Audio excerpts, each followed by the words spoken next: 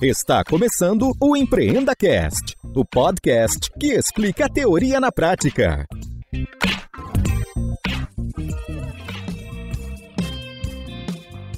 Esta temporada tem o apoio do patrocinador Verity, uma empresa focada em transformação digital e pronta para te auxiliar nessa jornada.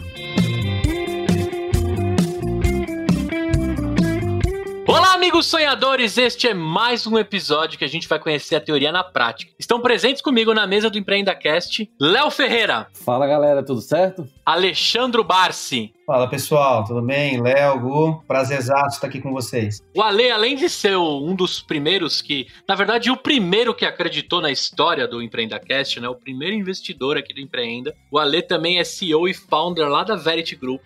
Além de investidor anjo, São Paulino nato, pai de três filhos, apaixonado por churrasco e até o final desse episódio, Leozinho, nós vamos aumentar a cota de patrocínio com ele. Dobrar é o mínimo. Não espero nada menos que isso.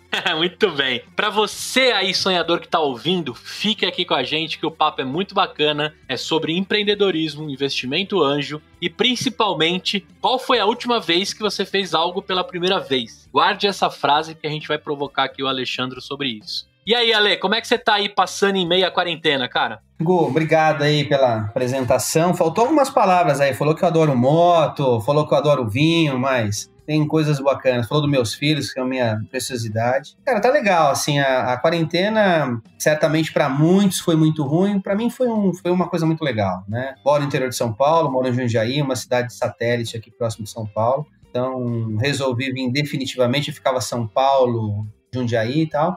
Quando eu vim para cá, eu vim para curtir minha casa, eu moro numa casa, moro dentro de um condomínio, então ajudou bastante. E o que aconteceu? Nessa na quarentena, trouxe meus filhos para vir estar tá mais perto de mim, né? Então isso é muito legal, assim, um preço é, é impagável isso, então tá ali o dia inteiro com eles. Né? Tivemos o desafio das escolas, que acho que todo mundo está passando. Mas foi super bacana, então curti o dia a dia com eles e tal. Sexta-feira passada, por exemplo, a minha filha chegou para mim, era quatro e meia da tarde, e disse assim, tipo, papai, vamos andar de bike? Né? Eu olhei pra cara dela, falou, pô, papai, para de trabalhar um pouquinho, vai. falei, não, vou andar de bike. Aí peguei a bike, andei aqui dentro do condomínio. Enquanto eu não tava quarentena, isso é, não aconteceria, jamais aconteceria. Seria no final de semana e às vezes no final de semana o que eu mais quero fazer é nada, né? Então até andar de bicicleta não dava com as crianças. Então assim, o quarentena tá sendo muito boa. Eu seria muito ruim comigo se eu dissesse que tá sendo péssimo. Obviamente que tem a questão da saúde, aí sem dúvida nenhuma, uma coisa muito ruim. Cara, agora deixa eu te perguntar, Lê, antes de você abrir a Verit, né? A gente sabe que você atuou em consultoria de empresas de tecnologia, uhum. mas eu queria saber o seguinte: como é que foi a sua trajetória profissional até começar a empreender? Que momento que o Alexandre tem o gatilho que, cara, sou empreendedor. Conta do jeito que você quiser, no, no ano que você quiser, só não entrega a idade aí pro pessoal. É bem curioso, né? Assim, eu, eu tenho uma coisa interessante, né? Minha mãe falava para mim, eu não me recordo disso, assim, olha, você sempre, quando você era criança, assim, mamãe, um dia você vai me ver na capa de uma revista porque você um empresário bem conhecido. Minha mãe fala, vira e mexe falar isso pro meu filho, né? Não que eu esteja na capa de revista, tá? Mas é uma coisa bem curiosa. Então é uma coisa de criança, né? Sempre ser independente. Uma vez que eu comecei a trabalhar, comecei a estudar, fui estudar na faculdade é, muito tarde. Meu pai teve um problema de saúde muito sério na vida, então tive que trabalhar muito cedo. Eu comecei a trabalhar com 11 anos de idade e trabalhava no supermercado, no mercado municipal do Ipiranga. Passava o dia inteiro cortando frios na parte da manhã e à tarde eu estudava minha vida foi passando, foi passando, foi passando, e aí chegou lá na frente, eu, eu entrei na faculdade, só pra vocês terem uma ideia, acho que foi com 24 anos. Eu fui fazer ciência da computação. E quando eu entrei na faculdade, eu já era um cara que trabalhava, né? Já tinha uma, não uma profissão, mas já trabalhava, né? Trabalhava como assistente administrativo de uma empresa. E eu lembro que eu entrei na faculdade fazendo ciência da computação, 99,9 pessoas que estavam dentro da, da classe eram pessoas que estavam fazendo, estudando tecnologia porque queriam engajar na área de tecnologia e queriam estagiar na área de tecnologia. E eu era, além do mais velho da classe, era o único que não queria trabalhar com tecnologia. Mas eu já acreditava naquele momento, lá com 23 anos, isso, acreditava que a tecnologia seria uma alavanca para o meu futuro. Né? Muito legal isso, e assim, era uma coisa muito interessante. Professor, pô, mas você não vai é, migrar para a tecnologia, mas como eu já ganhava um salário diferente, eu ser estagiário, por toda a situação que a minha família vivia naquele momento, para mim era muito ruim correr esse risco. Então, sei lá, então quando o estágio era pagava mil reais, naquele ano eu já ganhava dois mil e quinhentos reais. Então eu não podia dar um, um downgrade no meu salário. Eu não tinha essa visão de que eu tivesse dado dois passos para trás, ou seria ter quatro para frente. Então, faço cinco anos de tecnologia. Quando eu termino, então, eu trabalhava numa corretora de seguros. Eu cheguei lá a trabalhar, fui até, sei lá, que gerente, sei lá, que trabalhava naquela corretora. E aí, então, eu recebo uma proposta para ser comercial de uma empresa de tecnologia. Um amigo meu me indicou olha, então querendo contratar um tal de account manager aqui para cuidar de uma conta, e aí era uma empresa do Bank of America. E aí eu entro nessa empresa, e aí então eu começo minha carreira na área de tecnologia. Com aquela mentalidade, eu vou ser um comercial, né? E já tinha todo um embasamento técnico, né, de como funcionava a tecnologia lá atrás. Codifiquei, obviamente, na faculdade, ponto de trabalhos, mas usava isso como uma alavanca. Então, para mim, foi muito fácil. Então, eu tinha uma pegada que eu sabia se comunicar, eu tinha uma capacidade de se comunicar naquela época, acho que tenho até hoje mas aquilo me ajudava bastante porque eu já era uma pessoa que podia entrei como júnior numa empresa de tecnologia ganhando o dobro do que eu ganhava naquela outra empresa que eu trabalhava de corretor. Então assim, a minha história ela estava exatamente acertada. Eu tinha feito o caminho certo para poder chegar na onde eu queria. Aí, seguindo mais adiante, então comecei a trabalhar novamente com uma área comercial, sem dúvida nenhuma, e eu vou chegar na tua resposta, né? Onde eu resolvi vir empreendedor. Comecei então a trabalhar na área comercial, então eu comecei então a fazer vendas, e tem uma coisa, o e Léo, é aquela coisa, né? Se você vende, né? Você é um bom vendedor nas empresas que você trabalha, você efetivamente começa a exigir algumas coisas né, dentro da empresa. Então, assim, eu era um bom vendedor, naturalmente a gente, pô, vou mudar uma coisa aqui, vou melhorar aqui, etc. Não aceitava as regras que muitas vezes a empresa, ó, entrega de qualquer jeito, vende aquele projeto mais barato, e eu sempre tinha uma questão muito relacionada à questão da minha imagem, o legado que eu ia deixar em relação à minha imagem. Fui avançando, fui acabando trocando de empresas nessa jornada, porque eu não se identificava, até onde eu caí na Stefanini. Né? A Stefanini foi a minha última empresa como profissional, né, que trabalhou dentro de uma empresa sem dúvida nenhuma, a Stefanini é uma, uma, grande empresa. Marco Stefanini, eu tenho uma relação próxima dele hoje, né? Conheço ele, nós estamos em alguns grupos próximos. É uma escola para quem sabe se apropriar do que a Stefanini oferece, né? Naquele momento, eu trabalhando dentro da, da Stefanini, percebi que é o seguinte: olha, aqui eu consigo efetivamente realizar um bom trabalho. Você tem uma, uma certa liberdade, tá? Naquela época, há 14 anos atrás, eu tinha uma liberdade. Eu era um bom vendedor, exigia, tinha um retorno, mas de novo, sempre aquele desejo putz, se eu consigo fazer para uma marca, como é que eu não consigo fazer para mim mesmo? E aí vem, acho que talvez o grande driver, né, o Léo, que é se arrumar um patrocinador. Que é quando você tem uma relação boa com um grande cliente seu, você chega para ele e fala assim, cara, se eu surfar, se eu resolver fazer a carreira solo, você aposta em mim? E aí você tem todo um legado para trás, o cara falou, cara, eu aposto. Eu até fiz esses dias um elogio para este cliente, que não é mais cliente, ele se aposentou no LinkedIn. No LinkedIn não, no Facebook. Ele fez uma pergunta ali, se alguém tá, e eu, eu escrevi uma coisa muito legal, porque eu falei, cara, você foi o cara que me encorajou. Porque assim, você tem aquele sentimento de empreendedor, de que você quer fazer alguma coisa diferente, que você quer realizar alguma coisa diferente, mas você precisa de, um, de alguém que fala, confio e tô te empurrando. Né? Então, mas de novo, ele abriu para falar, vou te dar um projeto pequeno, né? você pode montar sua empresa, mas assim, é o driver. Se fizer mal, certamente é o último projeto. Você perde um amigo e perde o projeto. E aí de lá, então, certamente foi então quando começou a minha carreira. Então fui para ser sócio de uma empresa, fiquei lá por um ano mais ou menos.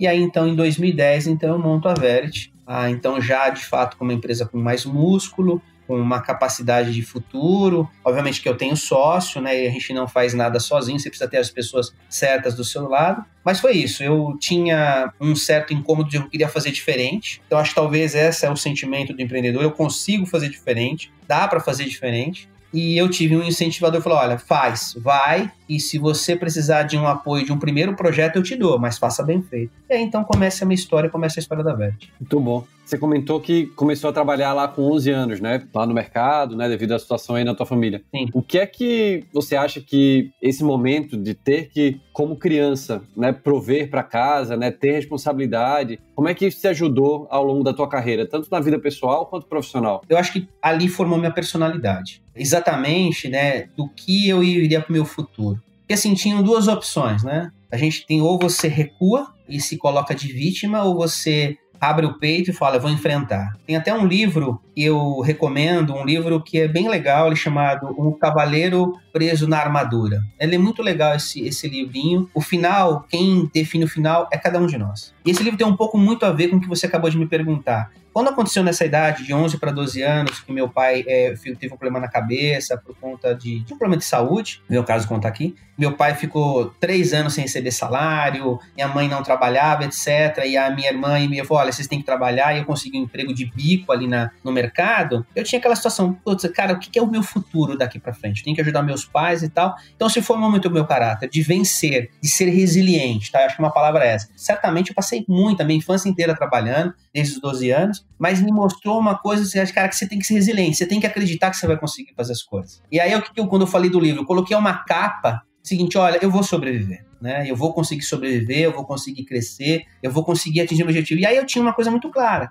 E quando eu via aquela situação, eu disse o seguinte, essa é a situação que eu não quero passar. Né? E isso é uma coisa que eu tenho até hoje, eu faço isso com meus filhos. Veja aquilo que vocês não querem e defina assim, isso eu não quero passar na minha vida. Eu não quero passar dificuldade, eu não quero passar por problema de saúde, eu não quero passar por N coisas, né? Então, e você busca, fortalece isso na sua mente, assim, isso eu não quero. O que eu quero é isso, o que eu não quero é aquilo. Então, eu acho que sem dúvida nenhuma, Léo, quando isso quando aconteceu, foi para mim o seguinte: olha, eu não quero, o que, eu tenho que fazer agora? Eu tenho que seguir, seguir, seguir, seguir. E aí foi, tem uma coisa muito relacionada com propósito, né? O que, que era meu propósito? Cara, eu queria vencer. Hoje eu tenho 47 anos, pô, desculpa, contei.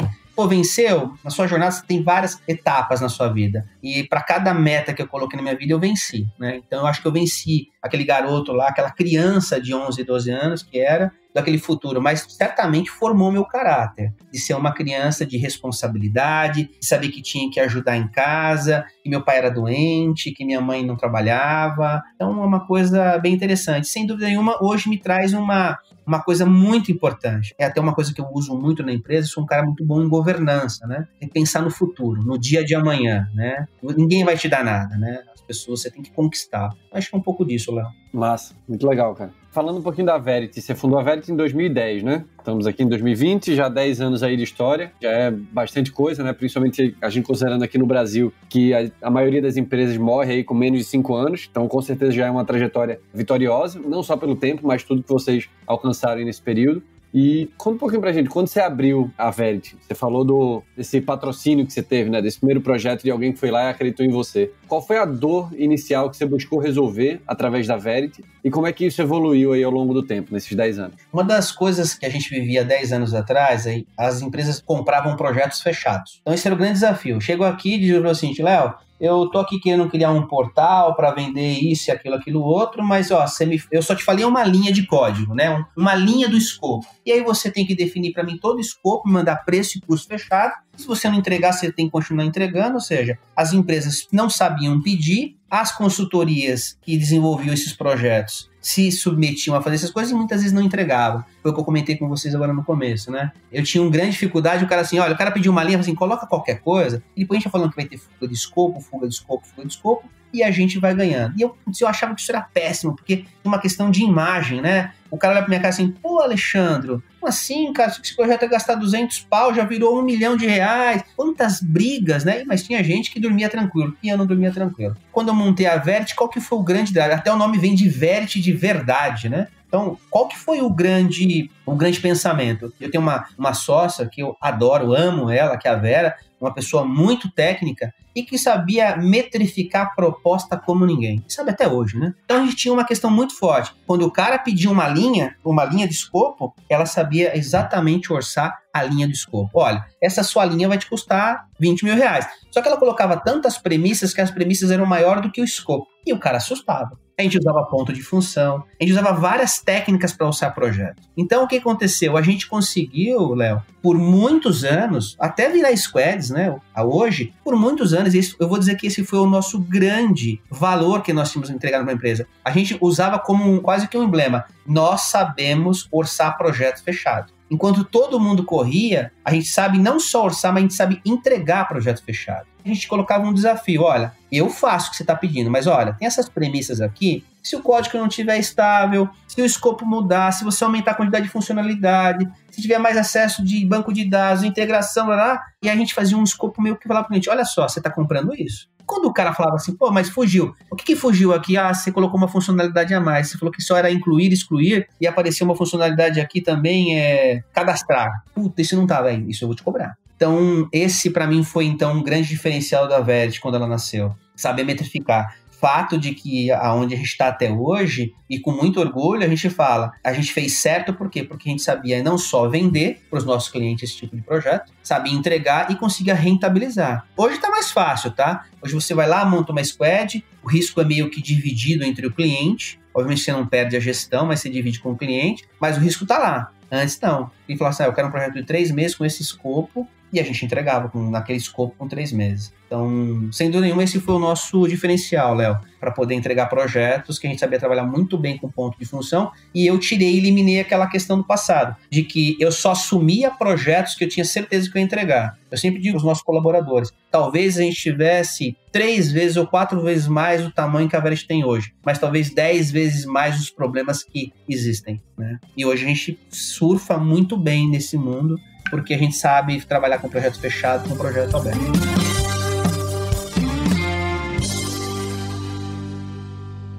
Você aí que tá lavando louça, limpando a casa, fazendo aquela faxina enquanto escuta o Empreenda Cast, eu tenho uma dica especial da nossa patrocinadora. Para você que tá nessa situação, meu amigo, você precisa conhecer a Ive. São produtos naturais que têm um cheiro maravilhoso, não fazem mal à saúde e vêm em cápsulas para economizar plástico. Ou seja, a Ive é amiga da natureza. Sim, tudo entregue na sua casa mensalmente por assinatura. Na boa, não sei como ninguém tinha pensado nisso antes. Usa lá o cupom EMPREENDAIVE e pega o seu descontinho. IVE que é yvybrasil.com. Acessa lá e prestigie essa patrocinadora que é uma linda.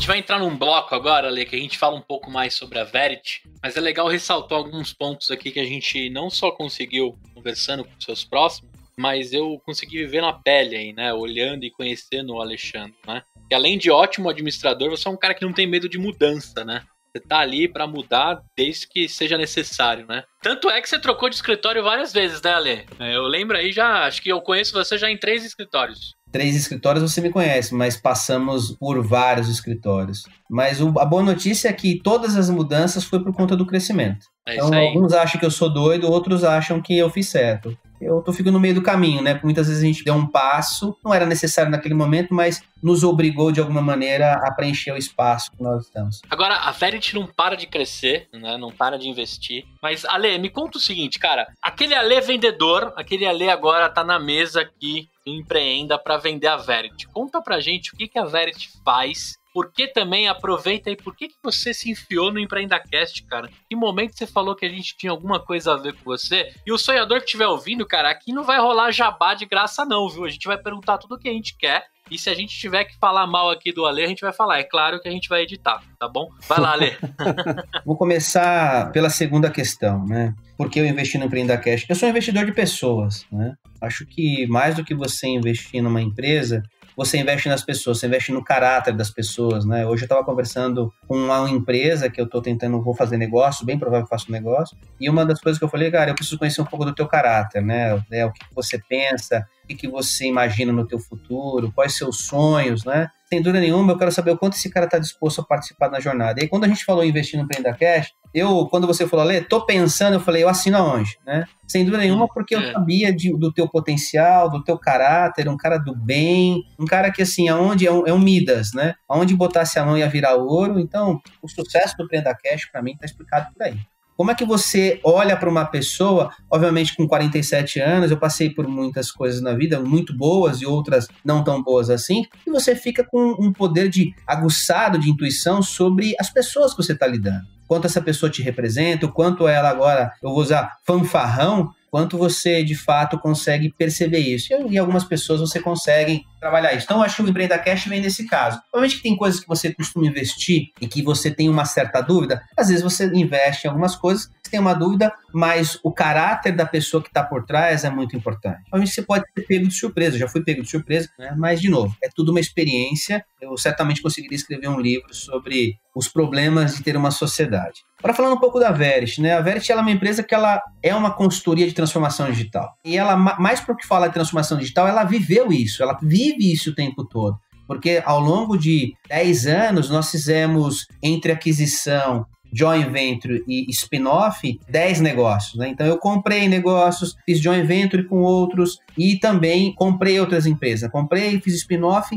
e me associei a outras marcas como investimento. Então a gente vem transformação, fazendo essa transformação, ou seja, criando uma, um movimento de ser perene, uma, uma visão de futuro, né? E é o que isso que a gente vende para as empresas. Falar de transformação digital. Qual que é o nosso hoje, a nossa abordagem para mercado? A gente parte do princípio que o mercado está vivendo num ambiente caótico que precisa se reinventar, que a cultura tem que estar tá muito aliada ao delivery, muito forte sobre isso, e a gente então tem um produto ou um serviço que é a jornada, né? Jornada digital. A gente vai lá da etapa do desafio e de uma oportunidade e vem percorrendo toda essa jornada, faz o entendimento da oportunidade, da necessidade e sempre pensando num produto digital. Como que eu me relaciono à experiência com o cliente, como esse cliente é um produto novo, é uma experiência nova, etc. Prototipa esse negócio, valida e vai lá e constrói esse produto, coloca em produção e agora a gente está dando um passo a mais. A gente está fazendo um trabalho com uma outra empresa que a gente agora vai suportar em produção este produto. Ou seja, a gente quer que os nossos clientes se preocupem de fato com o negócio. Essa jornada inteira, incluindo agora a sustentação em produção, que é uma questão de infraestrutura, a gente também vai fazer isso. Então, uma questão de jornada. Agora, tem uma coisa aí no nosso produto, ela é uma, uma linha paralela a essa jornada, que é a questão de cultura. Nós temos um amigo nosso em comum aqui, né? O Victor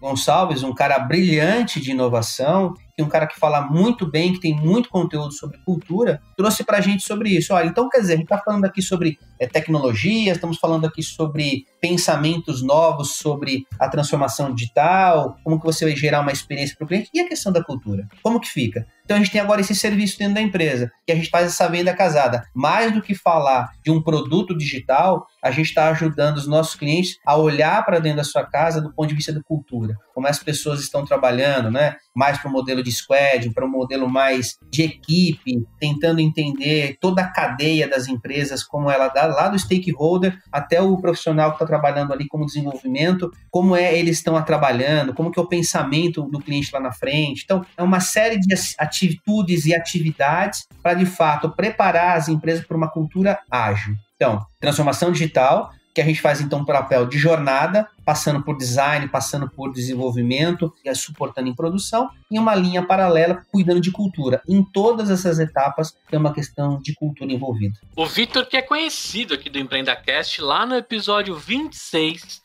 a gente falou sobre transformação ágil com o Vitor, antes mesmo de imaginar que ele pararia na Verit e fazer aí dupla com o Alexandre. O Vitor que é uma máquina também, um trator. Esse cara põe um monte de coisa de pé e um brotherzaço. Um abração para você, Vitor. Obrigado demais por de alguma forma colaborar não só para o crescimento do EmpreendaCast, mas para mim como pessoa também. A gente troca bastante figurinha. Tanto é que quando rolou o nome do Vitor para algum lugar, é um dos que eu indiquei aí de olhos fechados tem feito vários papos bacanas lá na, na Verity e deu um reforço bacana também, né, Ale? Dá pra sentir isso, não só pela movimentação das redes, mas fazer hangout com o Vitor ou com você, dá pra ver que a vibe deu bom. É um cara que tem muito conteúdo, tem profundidade no assunto, né? Não é raso. É uma máquina, assim, é, a gente brinca com ele, mas assim, ele é um cara, além de ser um cara querido, foi sem dúvida nenhuma um, um parceiro de negócio que a gente trouxe para a. Você é responsável por isso, né? E sem dúvida nenhuma agregou muito e vai agregar muito à empresa ainda. Temos aí um plano muito legal aqui. Vamos aproveitar então falar para você sonhador que lá no site da Verity tem como você se cadastrar no grupo do Telegram da Verity para receber as novidades e um conteúdo aí curado pelo Vitor e toda a galera da Verity. É um cadastrinho muito fácil lá. Vale a pena você participar, além do nosso grupo que você já participa,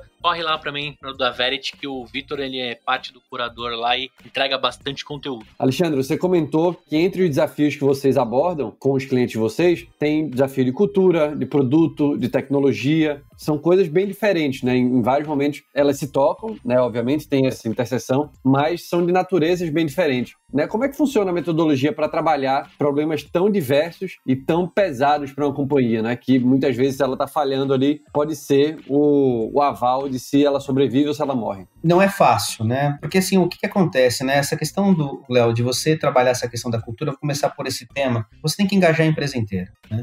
Você precisa preparar a cabeça lá de cima do stakeholder. Né? Se a gente colocar aqui dentro de uma, né, de uma pirâmide, a gente precisa convencer. Vou dar um exemplo. Ele passa por um modelo de que você tem um payback para entregar um projeto, que eu preciso aprovar um projeto no Comex e tal. E eu digo que é para o budget da fé. Né? Muitas empresas criaram suas áreas de inovação exatamente, olha, eu preciso testar alguma coisa, eu preciso fazer alguma coisa, mas eu não sei qual o payback desse dinheiro, para onde ele vai, eu vou fazer experimento, né? Como é que você muda a cabeça de uma empresa, de uma grande empresa, principalmente, para um modelo aonde você vou pedir lá uma grana e não vou justificar por ela? Esse talvez seja o grande desafio, mas tem que vir esse empoderamento, tem que vir lá de cima. Então, não adianta você preparar a base de criar squads, de você trabalhar num, num modelo de equipe, de entregas em conjuntos, que a vitória é do todos, quem perdeu, todo mundo perde, se os stakeholders estão preparados. Então, o primeiro trabalho que a gente tem que realizar é exatamente isso. Como é que a gente consegue criar para o board esse pensamento diferente, hackear essa questão da cultura, e o Vitor fala muito bem sobre isso, né? hackear essa cultura de uma maneira de que ela fique muito mais orientada para uma entrega diferenciada para o teu cliente. Porque não adianta, olha, eu quero entregar um produto, mas eu quero nesta metodologia comando e controle.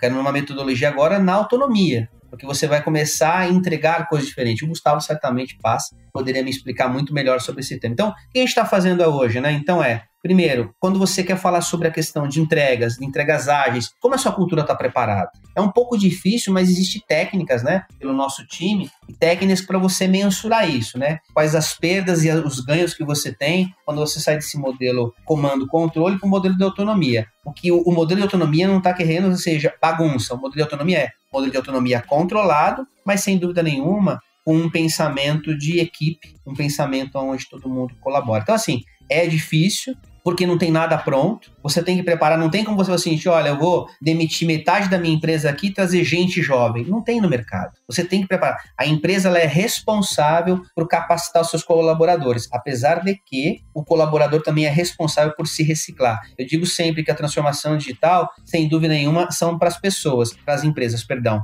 Mas os colaboradores das empresas devem sim fazer a sua transformação pessoal. Não pode responsabilizar a empresa de fazer uma mudança sobre o ponto de vista de negócio e ficar esperando aqui, ah, mas a minha empresa está mudando, é ela que tem que me treinar. Não, não. Você tem que ser, a partir de agora, transformado. Eu digo e tenho falado bastante, Gustavo e Léo, que todos nós, a partir de agora, somos os estagiários do século XXI. Estamos todo mundo no mesmo estágio. Naquela faculdade que eu fiz lá atrás, em 2001, se eu não me engano, eu era, sei lá, um estagiário, agora são, todos nós somos estagiários do século XXI. Porque está todo mundo reaprendendo de novo. Então, deu uma explicação um pouco mais ampla, mas é exatamente isso. É difícil a cultura, sendo nenhuma, as pessoas são responsáveis para se reciclar e fazer a transformação pessoal, para sem dúvida nenhuma fazer entregas melhores a partir de agora. Muito bem. Conta a sua experiência aí no mercado internacional. Eu sei que você adquiriu uma empresa do que que ela é. Conta essa experiência pra gente, se tem vaga para mim morar nesse país aí. Puta, legal. Olha, até a gente, você sabe que a gente tá num processo agora de,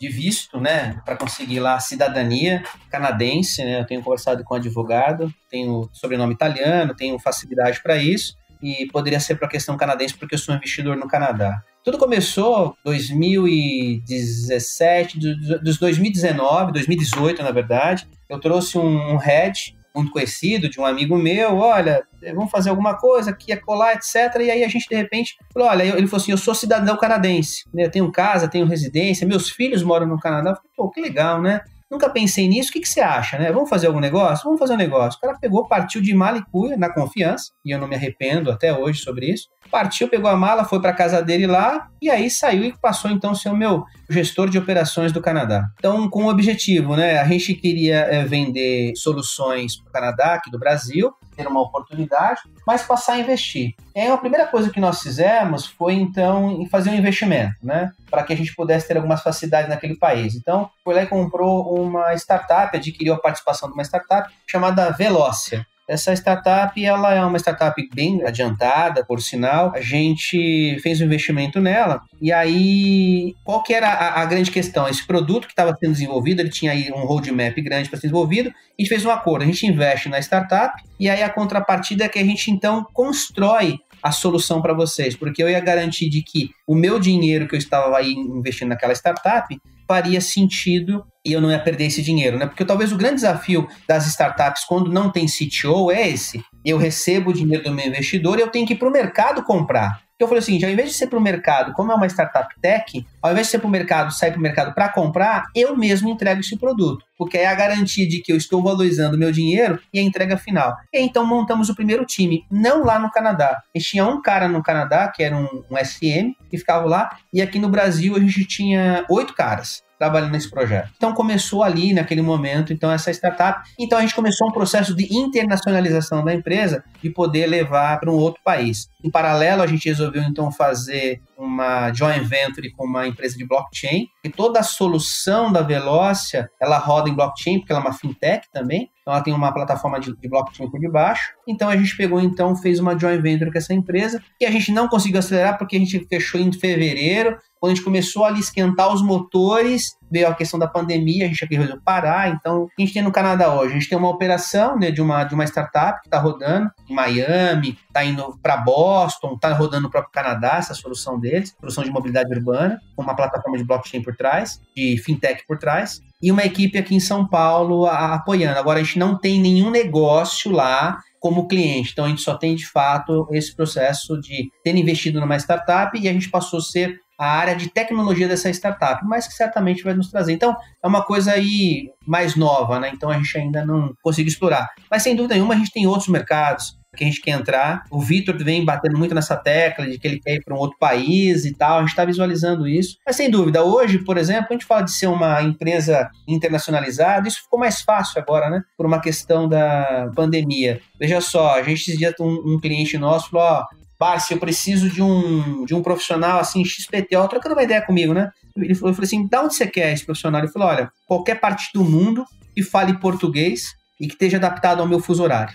Então hoje Legal. é fácil, né? Então hoje a gente tem, por exemplo, fisicamente a gente tem operação em Uberlândia, mas hoje a gente já tem pessoas nossas trabalhando no Rio de Janeiro e bastante gente, não é pouca. Meus clientes, por exemplo, olha, não tem mais essa restrição de ser só em São Paulo, até porque a gente estava passando por um período de escassez de mão de obra e isso nos ajudou bastante. E tem gente muito boa, muito boa em outros estados, inclusive fora do país.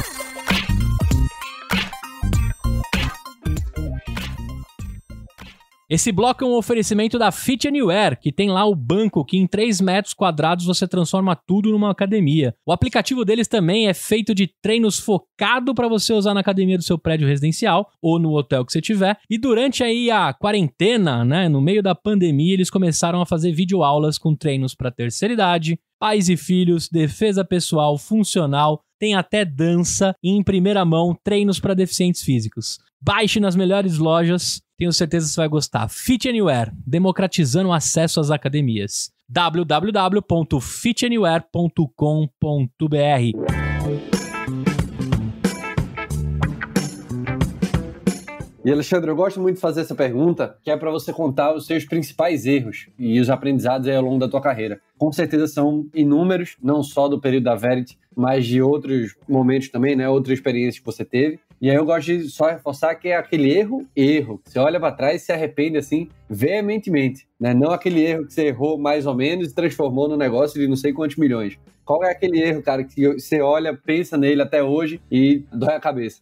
Putz, eu tô até lendo um livro chamado Essencialismo. Sugiro esse livro, bem interessante. E eu falei, cara, por que esse livro não foi escrito há, sei lá, seis anos atrás? Vou te explicar por quê. Ansiedade é você abrir muitas frentes e você não focar. Né? Muitas vezes eu me perdi num erro de abrir muitas frentes, muitos negócios, e aí eu estava perdendo aquela coisa, o que é efetivamente essencial. Eu quero ter uma grande vitória, eu quero ter pequenas vitórias, né? Então, um grande aprendizado que eu tenho trazido para minha carreira a partir de agora, né? Uma nova mudança que a gente tem feito agora nesse próximo semestre, sim. Certamente o desejo de fazer várias coisas, ele sempre está lá, sempre tem oportunidade. Tem um cara que está vendendo isso, quer fazer aquilo, a gente pode atuar naquela outra área, com aquele outro projeto, vamos trabalhar com inteligência artificial, vamos trabalhar um monte de coisa, mas efetivamente, qual é o essencial? Então, esse é um erro que eu cometi lá atrás. O que, que isso me impactou? Talvez eu pudesse estar fazendo coisas diferentes, talvez eu pudesse ter ficado preocupado com tantas coisas como eu fiz né, no passado. Eu, certamente me deixou alguns legados não bons, né? Porque quando você faz muita coisa, você não consegue dar atenção para tudo e você acaba sendo raso. Então isso é mais um, um, um aprendizado. Agora um erro, talvez, você fala assim, puta, esse é um erro gigante. Cara, você fazer negócios, né? E aí com sociedade, né? Com pessoas e não tá tudo escrito no contrato. Porque o contrato ele é feito para ser usado na saída, não na entrada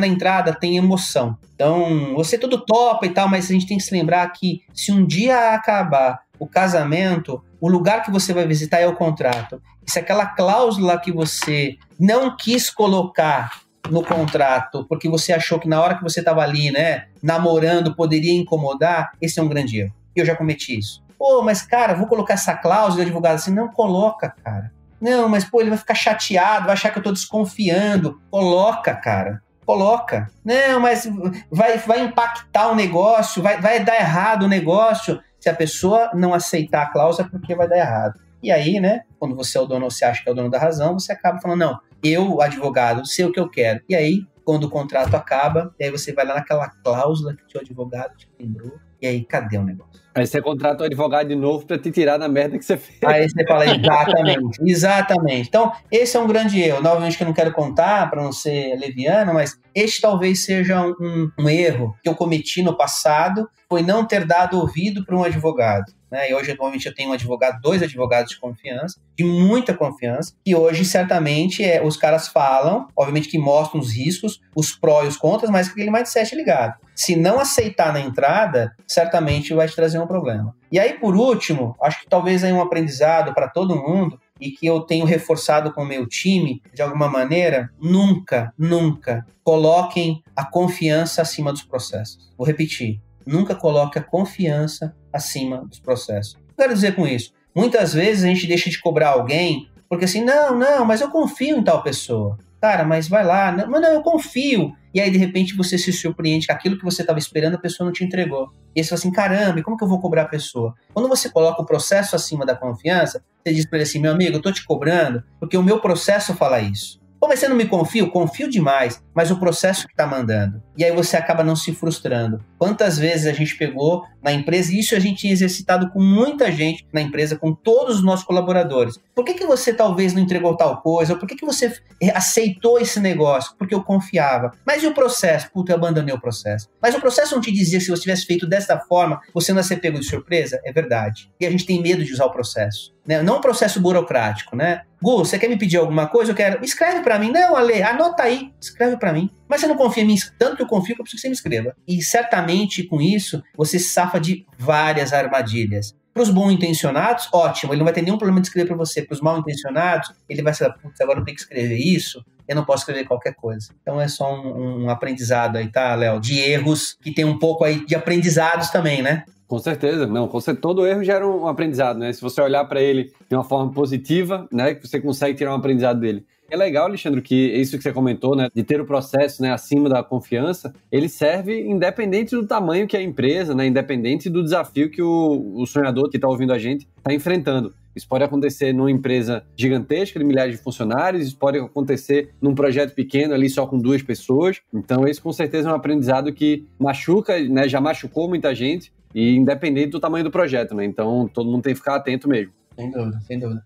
Ale, o Léo uma vez me falou uma frase, né? Pô, eu queria ter as mesmas 24 horas do que o Gustavo tem. Agora eu que digo, queria ter as mesmas 24 horas que o Alexandro tem. E além de dono da Verit, né? Além de CEO da Verit, você também faz investimento anjo, dá mentoria para uma galera. Eu queria emendar duas perguntas. Primeiro, como é que tá o seu portfólio aí de investimento anjo? Quais as startups você pode falar o nome, como você investe? E também de um hackathon que você foi mentor. Queria que você contasse dessa experiência e da frase que eu fiz no começo pra galera. Assim, eu continuo como investidor anjo, né? Tenho tentado buscar ideias aí, a gente está cercado de muitas ideias, né? Então, tenho dois movimentos para investidor anjo, né? O primeiro deles, através de um fundo de investimento que eu participo, chamado BR Angels, que é um fundo com mais de 60 executivos. A gente, da gente aportar dinheiro nas startups, a gente aporta, sem dúvida nenhuma, 60 relacionamentos. Então, a gente está lá indo para a sexta startup investida. Então, tem, tem fintech, insurtech, health tech, que já entraram nesse portfólio de investimento. Passa novamente por um processo de screening, passa um processo lá de contrato, avaliação, vai para votação. E aí você passa, né, startup ali ter 60 sócios ajudando a empresa. Então a gente viu, por exemplo, agora, esses dias atrás, uma startup que a gente investiu, tá no, no site da BR Angel, vocês conseguem acompanhar, é brangels.global. Vocês conseguem avaliar lá as startups que estão por lá e conseguem ver o nosso deck, né? O que, que a gente exige, como que participa, etc. Como que a empresa tem que estar tá faturando. Então é faturamento pequeno, é anjo, né? Mas a gente consegue ajudar. Então tem essa questão da BR Angel, que é uma coisa bem legal, bem profissional e tem de tudo. Então eu participo com um grupo maior e a gente consegue contribuir mais do que a questão da grana, sem dúvida nenhuma, com gente muito capacitada. Tem grandes executivos, show de grandes empresas, de grandes varejistas, por exemplo, participando desse grupo. Da maneira pessoal, sem dúvida nenhuma, sempre alguém me procura com uma grande ideia, uma boa ideia, e aí o que, que acontece? A gente tem aí um papel muito parecido que eu acabei de contar sobre a questão da Veloça, né? Porque muitas vezes o cara que está me procurando para poder falar sobre uma startup, ele tem uma dor, né? Muitas vezes ele assim, ele me procura porque ele sabe que a gente vai conseguir entregar. Eu não posso abrir o um nome para vocês, mas a gente, por exemplo, esses dias uma fintech, já tem até nome de banco, nos procurou, falou assim: Barça, eu tô te procurando, fui indicado,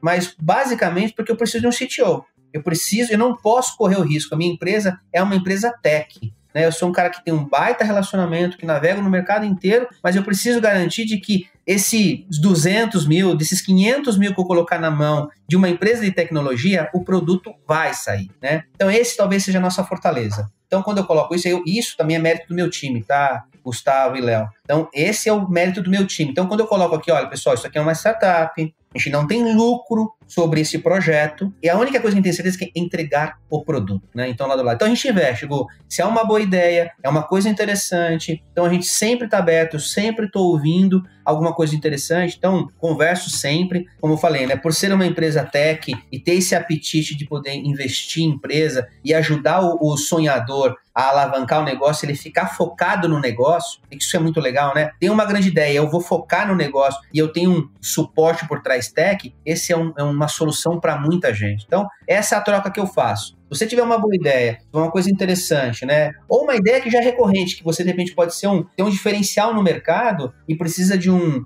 de um sócio parceiro tech, venha falar comigo. Manda aí meus dados, o Google pode contar para vocês meus dados aí, a gente pode, sem dúvida nenhuma, bater um papo. Chama no LinkedIn já faz o seu pitch lá, mas poupa o tempo do Alexandre, né? Já chega falando o que você precisa, o que você está fazendo. Exatamente, a gente tem ideias lá que às vezes, olha, não, não tem de fato sentido. E aí eu, eu não sou o cara que joga balde de água fria, sabe? Cara, tá sonhando? É isso. Vamos frente. Vai pra frente, cara. Não vai bater cabeça, vai aprender, mas esse talvez é o nosso diferencial. Então a gente continua investindo. Aí, cara, você me fez uma pergunta muito legal, né? Assim, isso para mim foi uma coisa que aconteceu comigo esses dias e que para mim foi sensacional. Responsável disso, vou dar de novo, Vitor Gonçalves. O Vitor um dia me chamou e falou: Ale, Cara, você quer participar de um mentorado, de um negócio chamado Inovaton? É um hackathon. Você quer participar? Então, assim, qual que é a ideia, né? É uma, essa é uma maratona disso. Ele foi criada lá no, pelo tal do CEA de Portugal, juntamente com a ONU, para desenvolver soluções que contribuam com a limpeza e a sustentabilidade dos oceanos. E tinham lá, então, quatro áreas a serem exploradas: redução do lixo nos mares e oceanos, aquacultura sustentável nos mares e oceanos, preservação dos ecossistemas marinhos e transporte marítimo sustentável. Olha que loucura. Eu falei, caramba,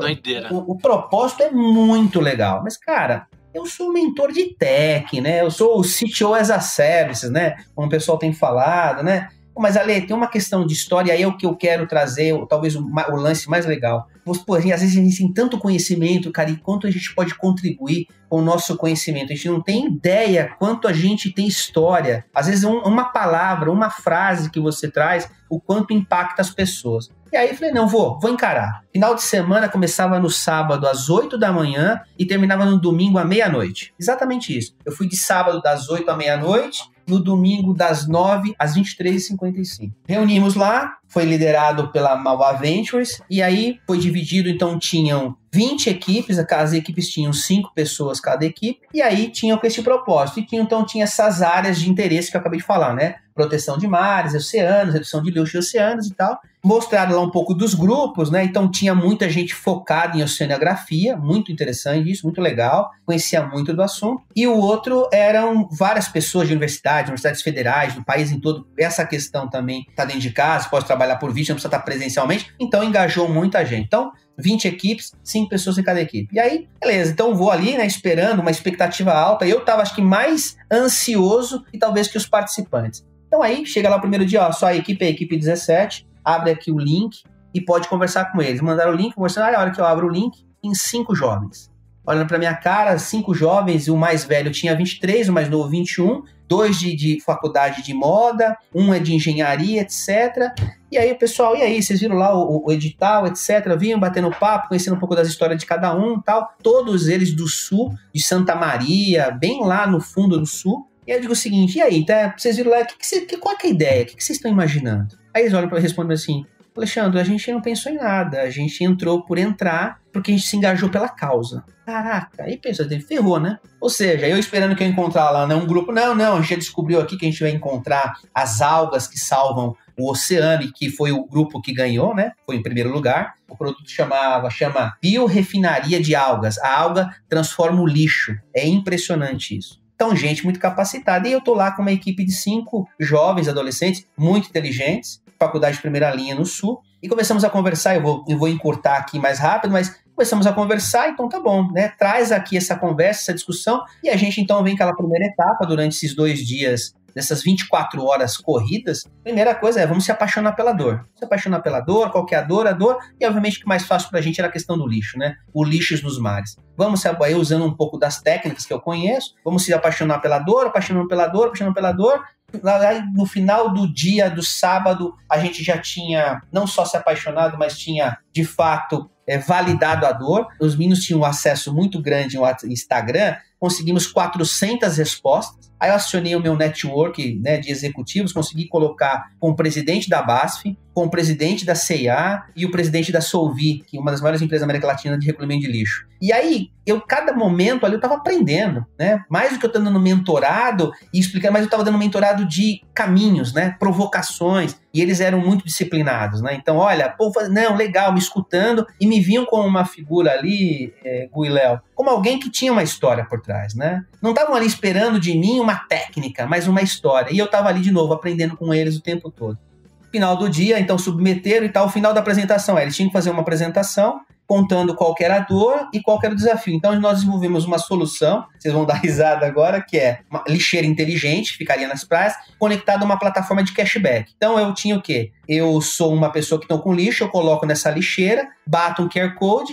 esse QR Code fala assim, ó, essa garrafa plástica te jurou um real, este um real, quem ia pagar? As empresas que patrocinam aquelas marcas. Mormai, é, Oakley, que tem esse interesse. E esse dinheiro ia ser retornado em desconto nessas lojas. Ia fazer um ciclo. Aí montamos a nossa apresentação, tal, fizemos lá. Dessa apresentação, 20 mentores avaliaram. Então a gente foi então para sete selecionadas na avaliação. No outro sábado seguinte, às 10 horas da manhã, fizeram a votação das sete Aí foram três pro shortlist e do shortlist a nossa ficou em segundo lugar. Então, para mim, assim, conto para vocês com muita alegria, né? E, cara, que para mim foi uma coisa que ao primeiro momento ela, putz, né, não tem nada a ver comigo, sou o cara da, da health tech, da fintech, da insurtech, né? Aquela coisa mais já conhecida, oceano, sal. Até alguns amigos meus brincaram, pô, a gente pode começar a comer camarão mais limpinho agora, né? Brincando, salvando as baleias e tal. E aí eu até coloquei no meu LinkedIn, né? Qual foi a última vez que você fez a primeira vez uma, uma coisa, né? Então, como é que você é, fez uma coisa diferente? Então, este talvez seja um grande aprendizado que eu tive aí nesses dias, cara. E você consegue contribuir com a sua capacidade de fazer um trabalho que gera um impacto gigantesco. Talvez o maior aprendizado disso tudo, e eu estou em busca disso agora, com a minha capacidade intelectual, com a minha história de vida, qual é o impacto social que eu consigo fazer para este planeta. Não estou falando aqui para o meu país, para a minha comunidade. Como é que eu consigo impactar outras pessoas com a minha capacidade intelectual? É, sem dúvida nenhuma, isso foi um grande, uma grande pílula. Alexandre, você consegue, sem dúvida nenhuma, fazer alguma coisinha. E foi muito sensacional. Eu fiquei emocionado por essa participação. Excelente. Bom, gente, estamos chegando aqui no, no final do episódio, né? Muitos aprendizados aí, história super legal do Alexandre. Alexandre, para a gente finalizar, você conhece bem o Empreenda Cash, a gente tem o módulo Atitudes Empreendedoras, né? Que aí você deixa uma indicação de livro, podcast, né? Série que você acha legal para os nossos sonhadores. Você já citou um livro lá em cima, né? No começo do episódio. Se quiser reforçá-lo, né? É, como sugestão, fica à vontade. E trazer qualquer outra referência também que você queira que seja legal para os nossos sonhadores. Legal, assim. O primeiro livro que assim eu indicaria sobre a questão do essencialismo, é, acho que faz todo sentido, todo empreendedor a, avaliar, né, independente do momento da carreira, você poder dar uma mergulhada nesse assunto, avaliar o que é, o que é essencial. Quando eu acabei de comentar, né, eu quero ter uma grande vitória ou pequenas vitórias, o quanto você consegue impactar a sua equipe, as pessoas que estão ao seu lado, comemorar sempre. Então, essa talvez é uma atitude, eu vou deixar só esse livro para vocês, eu tenho vários outros que eu tenho passado, mas sem dúvida nenhuma, esse para mim é o cara que tem é, mexido muito comigo, né? Que tenho feito pelo menos um milhão de coisas, né? E mesmo você às vezes tendo uma coisa, você consegue fazer várias coisas, né? Então você tem que fazer algumas escolhas, né? O que é essencial para a tua vida? Então, sem dúvida nenhuma, eu acho que esse livro, O Essencialismo, do, do Greg McCron, da livraria Sextante, né, que fez esse livro, sem dúvida nenhuma, ela pode trazer para vocês vários insights sobre o que vocês devem escolher, o que fazer. Fazer escolhas, principalmente é isso. Tem algum podcast para indicar? Agora é a hora da verdade. Cara, um podcast cara, sensacional. Vai ser de sacanagem, né? Você ainda é muito empreender cash, né? Então, você é, um, você é um cara brilhante, eu adoro você. Ainda trouxe o Léo ainda para somar, que eu já gostava bastante. Acho sem dúvida nenhuma, vocês têm muito a contribuir. Isso é sensacional, ajuda muita gente. Meu, é isso, não tenho por que falar. Não, e, e também, de novo, não tô jogando nenhum aqui louros para vocês, mas sem dúvida nenhuma, vocês têm muito que ensinar e ajudar as pessoas. É isso aí, essa temporada é um patrocínio de Verit, você escutou lá no começo, né? E ó, Ale, aprendi com você, né? Tubarão nada com tubarão. Então escolher o Leozinho, o Gabriel, Tiaguinho, são os tubarões que nadam comigo. Por enquanto nesse aquário que tem tamanho, mas a gente já tá migrando para oceanos aí. Na verdade, estamos nadando numa lagoa, né, Léo? Já estamos indo pro oceano já. Choque tem medo aí de, de enfrentar esse marzão. Vem muita coisa boa por aí. Muito bem. Ale, deixa as redes sociais, como é que a galera te encontra? Faça um desafio, sonhador. Adicione o Alexandre no LinkedIn. Fala que você escutou o Empreenda Cash. Pra ele renovar por mais anos com a gente o Empreenda. Tô brincando. Não, só pra ele ver que a força dos sonhadores e que tem gente querendo fazer pitch aí nas redes. Adiciona lá. Como é que a galera te acha, Ale? E a Verity é verity.com.br, só que Verity com TY no final. Então o resto é com você, Ale. Isso. Você encontra verity.com.br no site, você encontra a Verity, Verity Digital aí na rede LinkedIn e no nosso Instagram. E no meu pessoal, Alexandre Barsi, tanto no Instagram como no, no LinkedIn, principalmente. É esse nome, Alexandre Barsi com o final O e Barsi com a letra B. Me adicionem lá, quiser fazer perguntas, eu sou um cara muito acessível. Então, se eu puder responder sem dúvida nenhuma, vamos fazer um bate-papo. Se eu puder ajudar de alguma maneira, sem dúvida nenhuma, estou à disposição. Muito bem. Se você quer aprender mais sobre transformação digital, se você quer viver esse mundo, se a sua empresa está precisando, a Verit tem esse conteúdo, tem um grupo bem maneiro lá no Telegram para você entrar também.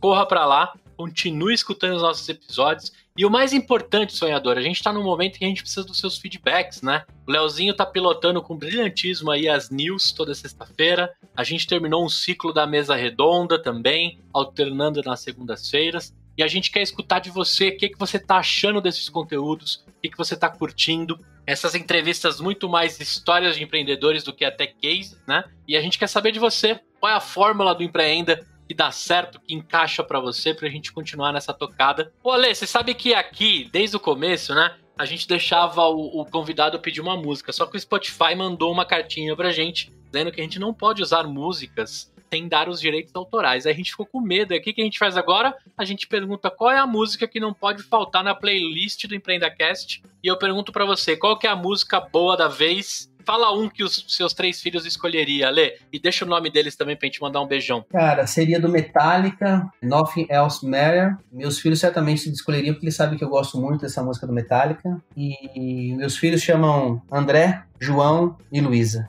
Muito bem. Fica registrado aqui o nome e um beijão para todos eles, lindos. que tem aí um paizão show de bola. Todas as pessoas que a gente perguntou, Ale, e eu preciso agradecer, essas pessoas falaram que você é um paizão com P maiúsculo. Sabe quem foi, cara? A Vera, que a gente acabou comentando aqui no episódio, o Alexandre Puccini, César Souza, a Gabi e a Michela. Essa galera aqui rasgou elogios com relação ao tamanho do coração que você tem e do pai que você é. A gente encerra por aqui. Até a próxima e tchau!